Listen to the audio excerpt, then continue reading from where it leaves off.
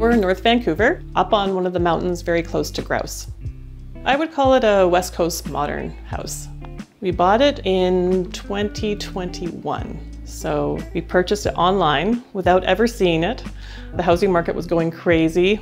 The prices were going up and up and up. And so uh, we put a bid in on this house and we got it sight unseen.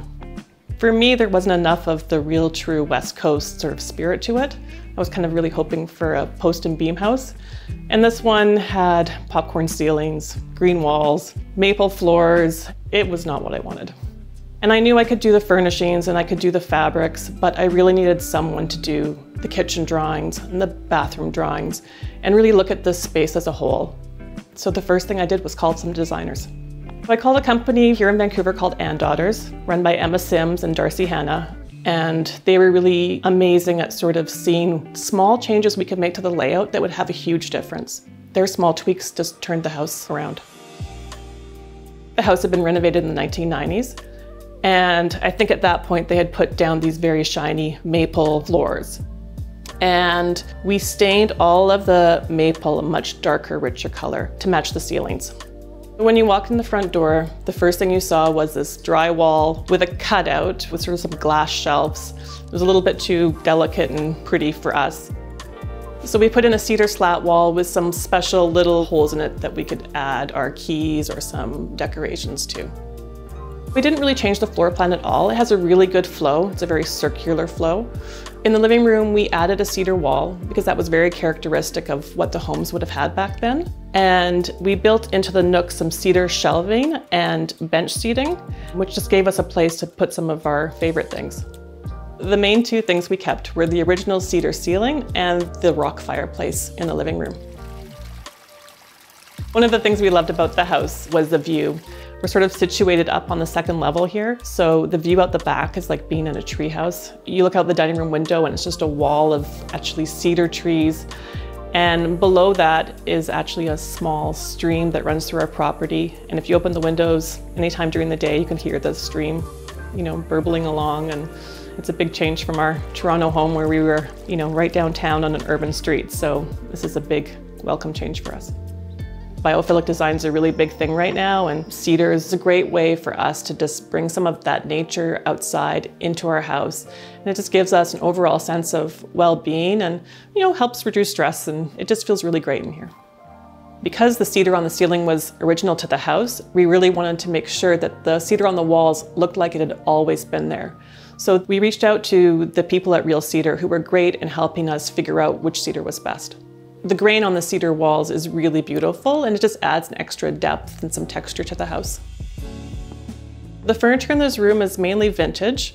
The sofa is from a consignment store and I had it recovered in a Knoll fabric. The coffee table is a Facebook Marketplace find. We did have it lowered and had the top refinished.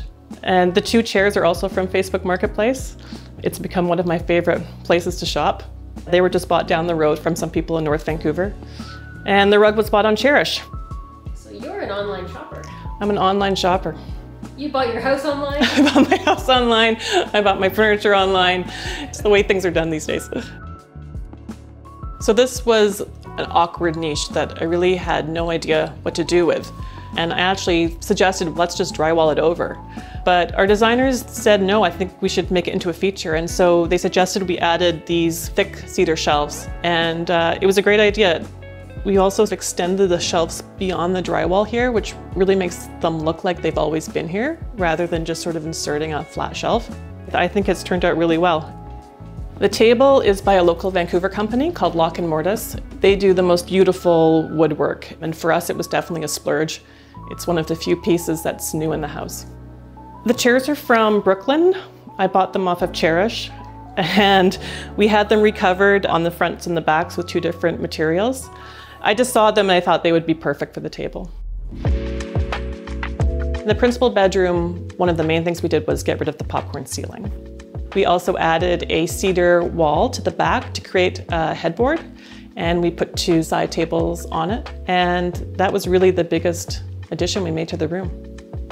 The ensuite was a full renovation. It was a very 80s bathroom in there before with a walled-in glass shower with brass detailing and a curvy tub and it, it just had to go. It was one of the things I hated the most about the house.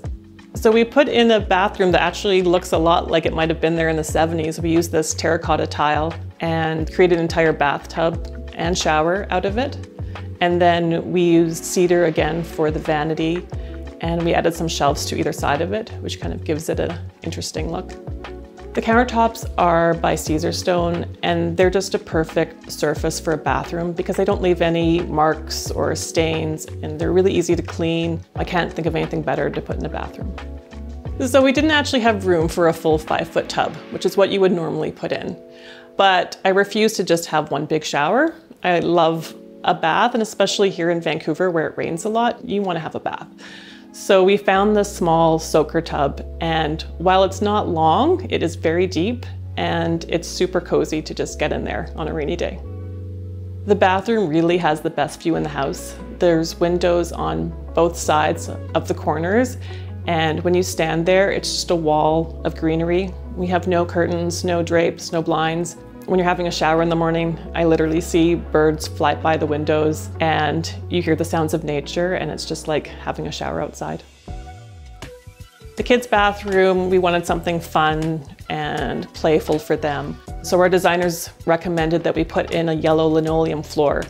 And I have to admit, at first I was like, hmm, I'm not so sure about the linoleum but we went along with it and it's actually one of my favorite things. I love it. It's so easy to clean and it just makes a great statement in that room.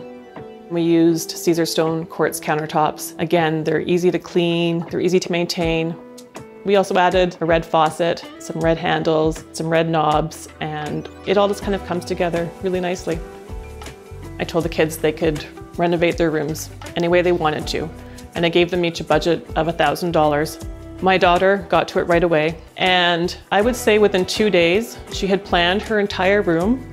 You can probably see that my daughter is a huge Taylor Swift fan. It has just consumed our lives for the past six months. She just loves her, and we play her music all the time, and we make friendship bracelets, and we would do anything to get tickets to that concert. so let me know if you have some. My son was not as eager, so after a bit of prodding and pushing, we kind of figured out a wall color together and we figured out a few other things and yeah, I more or less helped him with that one, but he definitely told me when there was something he didn't like. One of the areas we really focused on is the main thoroughfare that we use to get in and out of the house through the garage. And originally, the washer and dryer used to be right in that hallway. So it became this very tight squeeze that we would all get through with our backpacks and groceries, and it just wasn't working. And one of the things they did was to add the laundry room to the office and make it a dual function space. And I was super happy. It just makes it that much closer for me to do things. The Miele washer and dryer are super compact and fit into the laundry closet perfectly. They have the TwinDos dispensing system, which automatically dispenses detergent, which makes it so easy, you never have to fill a canister. The laundry sink is a Silgranit Blanco sink. It's white to match the Caesarstone countertops. And we have a Blanco faucet as well. And it can be completely closed off if I want it to be. And then we put a cedar desk right in front of the window and it just works perfectly. Also, once we took the washer and dryer out of the hallway, it allowed us to put in a real mudroom. So now we have hooks where the kids can hang their bags when they come in from school. We have a full closet where we can put our hats and our scarves and it's just streamlined and it just makes coming in from the garage that much better. I used to live in a Victorian house, and so this house is completely different. I felt this house sort of deserved a 60s, 70s vibe. We didn't want to completely replicate the 60s and 70s. We didn't want it to feel kitschy, but this house is from that time and region, and it just seemed to make sense for the house. We've brought back the cedar, We've brought back what we think the original floors would have been. You know, we've done it through a lens of 2023 so it doesn't feel kitschy, but I hope the house is happy. I hope it feels like it's back, back to how it used to be. I love my house now. You know, I look around and I actually can't believe it's my house and it just feels really good to be here. But there's more, including the kitchen in the next video, so come back and see it.